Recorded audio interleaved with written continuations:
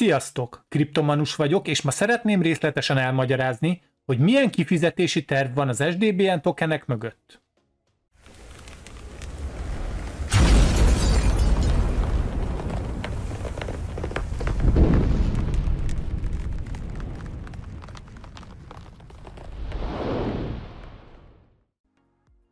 Aki esetleg nem lenne tisztában vele, az SDBN tokeneket a Sunmoney bocsátja ki. Ez egy token termékcsalád, aminek jelenleg a második SDBN 2-es tokenének eladásánál járunk. Amennyiben részletes információt szeretnél kapni magáról a tokenről és a vásárlás menetéről, akkor ebben a videóban részletesen beszélek róla. De akkor nézzük is, milyen kifizetési terv alapján működik az SDBN token, és mennyire igaz az 1-től 10-szeres havi megtérülés. Hiszen a cég hivatalosan ezt kommunikálja a tokenről. Tudjuk, hogy a szerződés alapján az első kifizetés az SDBN 2-es tokennél 2024. decembere. Tehát függetlenül attól, hogy addigra sikerül-e csomagot váltani a tokenek mögé vásárolt SDBN csomagoknak vagy sem, a rendszer leállítja őket, és nincs lehetősége a csomagoknak a továbbiakban a szintlépésre. De a csomagot továbbra is gyarapodni fog, és elkezdi kifizetni havonta az addig elért csomagok termeléséből keletkezett nyereséget. Nézzük, mi történik a legrosszabb esetben, ha nem tudjuk olyan ütemben növelni az SDBN csomagok eladását, ahogy azt a cég kezdeti lendülete prediktálta. Ebben az esetben a csomagok, amik a tokenek mögött vannak, nem lépnek szintet, hanem maradnak a start csomagban, aminek a maximális kifizetési limite 500 euró. Ennek reális esélye is lehet, bár az is igaz, hogy nem látunk a jövőbe, és nem tudjuk, mit hoz a következő másfél év. Tegyük fel, mi annyi token birtoklunk, ami megfelel egy 500 eurós digitális csomagnak. A könnyebb számolhatóság kedvéért. Tehát a birtokunkban van 50 ezer darab SDBN 2-es token. A cég azt állítja, hogy ezek a tokenek képesek lehetnek minimum a vásárlásra használt összeget havonta megtermelni teljesen passzívan. Ahhoz, hogy ezt az információt a helyén tudjuk kezelni, tisztába kell lennünk azzal, hogy ez az 500 eurós kifizetés nem biztos, hogy az első hónapban meg fog történni.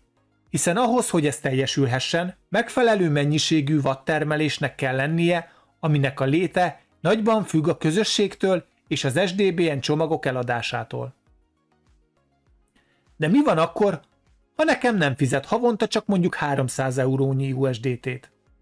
Nem kell azonnal bepánikolni, mivel a nyereség a napelemek termeléséből származik, így logikus, hogy nyáron többet, télen kevesebbet termelnek a napelemek. És mint tudjuk, pont decemberben kezd el fizetni, ami nem a legacélosabb hónap, ha a napsütötte órák számát nézzük. Viszont ez sem jelenti azt, hogy az első nyáron már 500 eurónyi nyereségre teszünk szert. Mert nem tudna, hogy hol állították le, a teljes visszaforgatást az okos szerződések alapján.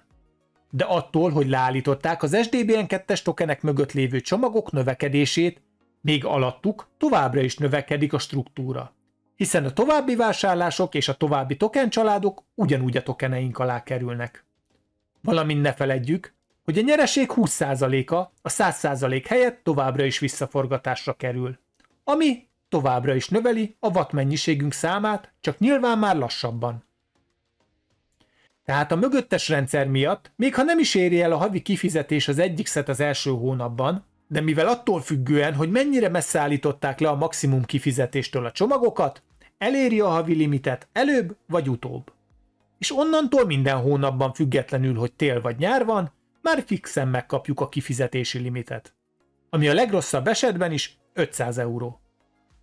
Ami a cég által számított legrosszabb szenárió.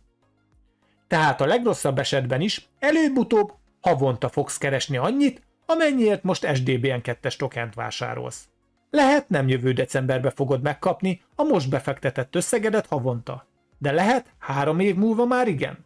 Ez most hihetetlen sok ember számára, de ha ismered a kifizetési rendszert, és tisztában vagy azzal, hogy hogyan tud a rendszer úgy működni, hogy fenntartható legyen, akkor onnantól már számodra sem lesz az.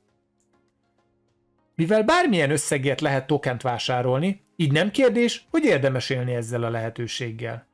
Mert ha nem teljes vele, akkor majd más fog. A tokenek elfogynak, veled vagy nélküled.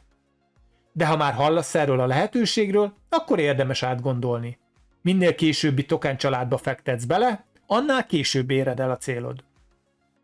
Ha megértetted a kifizetési tervet, akkor lent megtalálod a linket, aminek a segítségével vásárolhatsz a tokenből. Videókat is találsz a csatornámon, ami végig segít a vásárlás lépésein. És ne feledd, SDBN2 plusz tokenek járnak ajándékba, ami már idén decemberben fizethet. Hogy mennyit, az nem lényeg, hiszen ajándék. Köszönöm, hogy meghallgattad a videómat, remélem sikerült letisztáznom pár dolgot bennetek az SDBN tokenekkel kapcsolatban. Ha bármi még ezek után se lenne világos, akkor kérdezzetek bátran a komment szekcióban. Ha tudok, válaszolok. Köszönöm a kitartó figyelmet, és találkozunk a következő videóban. Sziasztok!